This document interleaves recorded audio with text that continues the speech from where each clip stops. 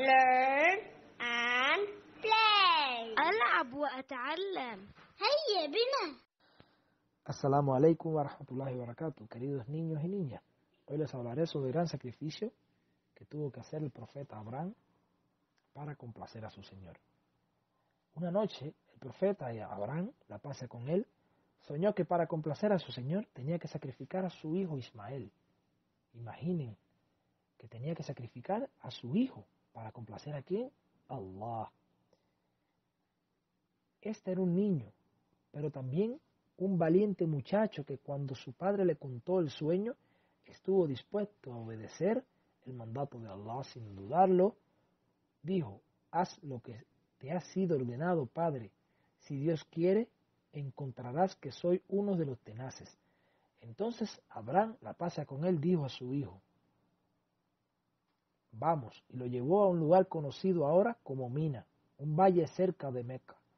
Allí Satanás intentó disuadirle, intentó distraerlo de lo que iba a hacer Abraham con su hijo.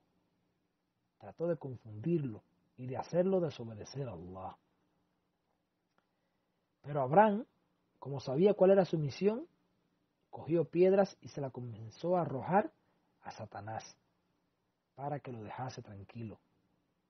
Así cuando Abraham tomó un cuchillo para sacrificar a su hijo, Allah envió al ángel Gabriel con un carnero para ser sacrificado en el lugar del niño.